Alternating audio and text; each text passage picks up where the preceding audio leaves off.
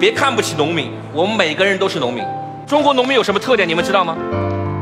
土地少，干到死。今年大丰收，明年不干活一样饿死。所以，所有中国式的小农就是工蚁，拼命的干，拼命的干，拼命的干。我跟我的法国朋友一直讲，我说不该我们没饭吃，你知道吗？真的不该。他是教授，我也是教授。他老说你们中国人这二十年日子过得够好了，该你们过不好的日子了。我说你错了。我说这个世界上轮得着谁没饭吃，都轮不着这个国家的人没饭吃。你知道为什么？我说你一个礼拜工作多少小时？他说我一个礼拜工作十个小时。我说我从三十岁到现在没有一天工作在十个小时以内。不叫鼓掌啊！我们每个中年男人脸上不都写着猝死的样子吗？